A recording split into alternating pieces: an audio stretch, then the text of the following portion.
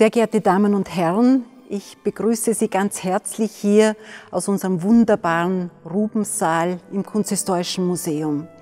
Ich möchte mich an dieser Stelle sehr, sehr herzlich bei Ihnen allen bedanken, den Freunden unseres Hauses, den Sponsoren, den Unterstützern im tatkräftigen, im finanziellen Sinne, aber auch im ideellen Sinne, dass Sie gemeinsam mit uns durch dieses ungewöhnliche und auch sehr schwierige Jahr gegangen sind.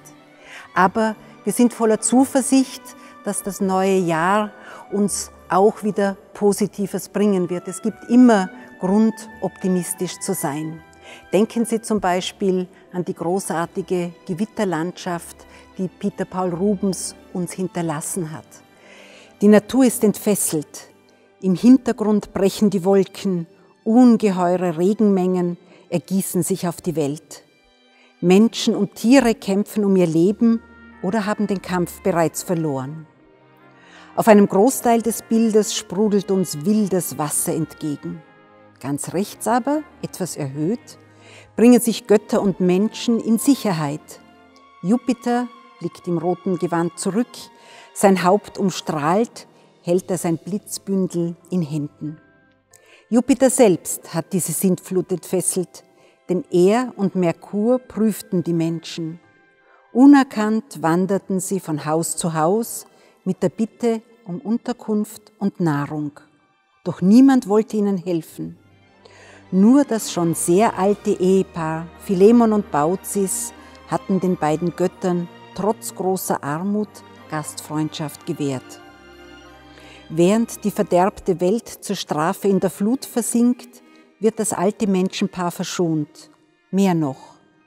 Nach vielen weiteren gemeinsamen Jahren werden sie zur selben Zeit sterben, um einander nicht betrauern zu müssen.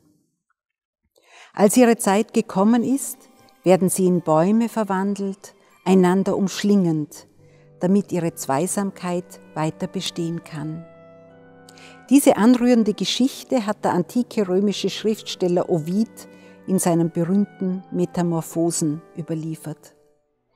Die elementare Naturkatastrophe, die Natur in ihrer Urgewalt aus berstendem Himmel, Wolkenbrüchen, Sturzbächen, Ertrinkenden und Ertrunkenen, ist eine Macht, der der Mensch wenig entgegensetzen kann. Hoffnung und Zuversicht deutet allein der Regenbogen links unten an.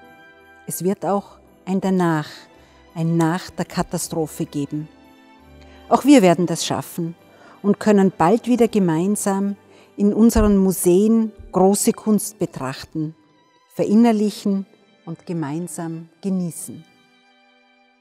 Wir blicken gemeinsam optimistisch, froh und voller Elan ins Jahr 2021. Die Museen werden Gott sei Dank wieder geöffnet sein. Wir werden für Sie die wunderbare Aztekenausstellung im Weltmuseum wieder bereithalten. Besuchen Sie die Beethoven-Ausstellung im Kunsthistorischen Museum und folgen Sie der grotesken Komödie Bonaccinis im Theatermuseum. Und wir haben auch etwas Neues für Sie vorbereitet. In der Wagenburg können Sie die Ausstellung Coronas Ahnen besuchen, die sich mit der Geschichte der Seuchen am Wiener Hof beschäftigt. All das und noch viel mehr hält dieses neue Jahr für Sie bereit. Ich möchte Ihnen an dieser Stelle gesegnete Feiertage wünschen, ein frohes Weihnachtsfest, einen guten Jahreswechsel und ein gesundes neues Jahr. Wir freuen uns auf Sie.